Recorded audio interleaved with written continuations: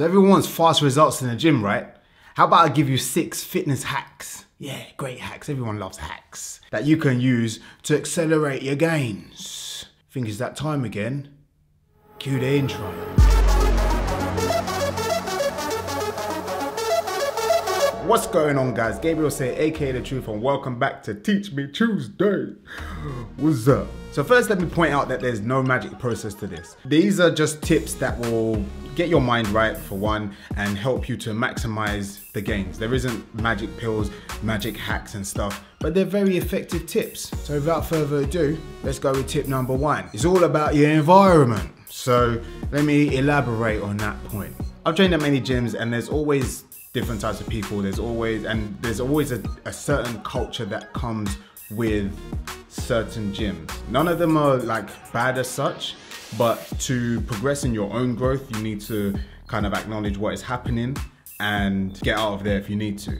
For example, if I go to somewhere like, oh no, Bank Fitness First, Bank in London, this is when I was like working in Liverpool Street. If I go to that fitness first, there'll be people in there that I will go and on a bench press or let's say squat. I go and squat 140 kilos, which is, you know, minor for the max that I can actually do. And because they haven't seen it, I'm like the big fish in the small pond. So they think it's amazing. Then they start gassing you up and they're like, oh man, you're so strong. If you're not careful, that's gonna mess up your mentality moving forward for everything else because then you think that that is awesome. So then to be awesomer, you only need to hit 150 kilos. Whereas as a matter of fact, you know that you can hit 200 plus. So me personally, this is people that I've spoken to as well, my training partners, other people that kind of think on the same wavelength as me.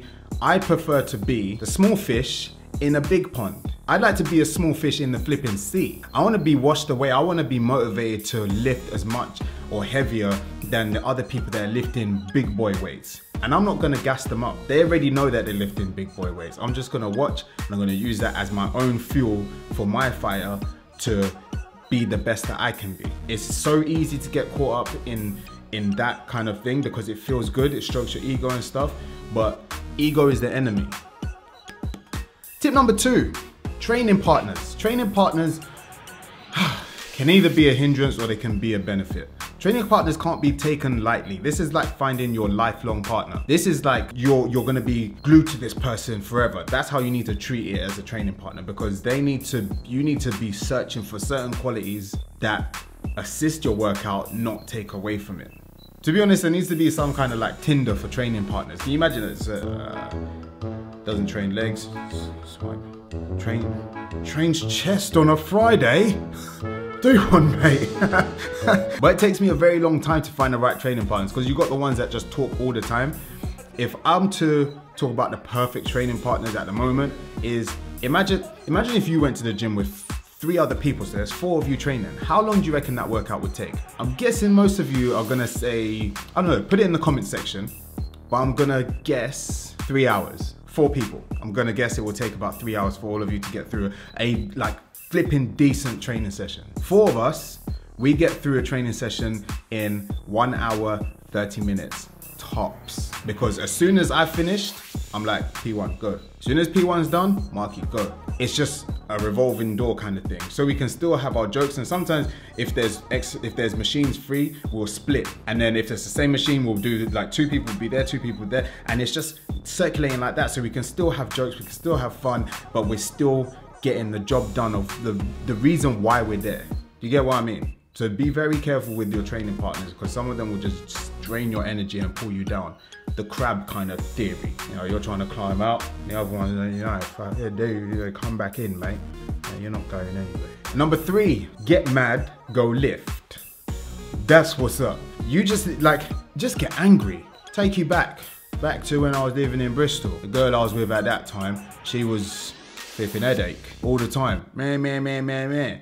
Hey, man, man, man, man. I used to get so angry that it would fuel workouts like to Super Saiyan levels 50 million. Slightly exaggerating, but it works for this story.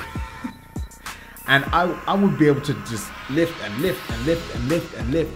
And it just, because that adrenaline, that rage and a lot of people train because they want to vent frustrations right? If your manager has pissed you off anything i just think of something that has just just angers me and i put everything into the weights. Get mad go live.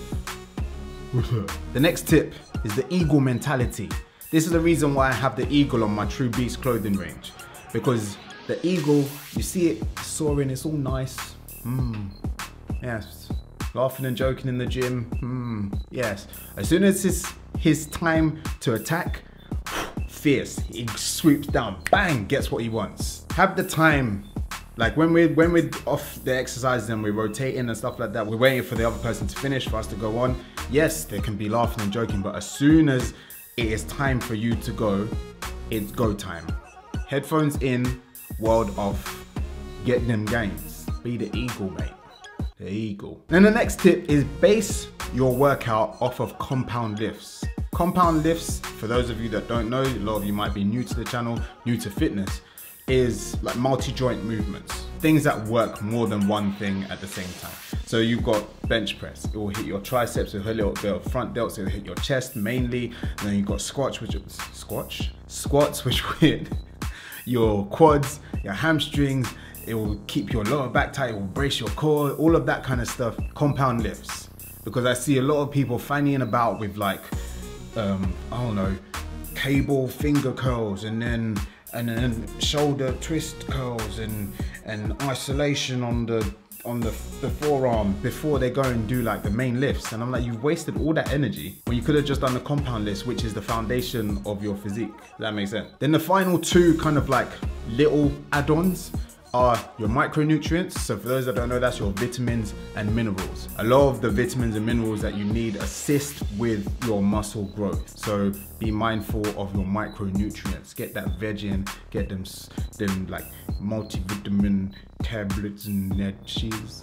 And stretching. Stretching is one thing that I neglect sometimes. I think a lot of people neglect because it takes a long time to stretch but stretching just opens up so many doors. It stops a lot of injuries and I wish I did it more back then as much as I'm doing it now. But that is it. Six hacks that you can use to make some gains a little bit faster, get them get them muscle gains, take off your top at the beach. Not if you're a girl, not if you're a girl.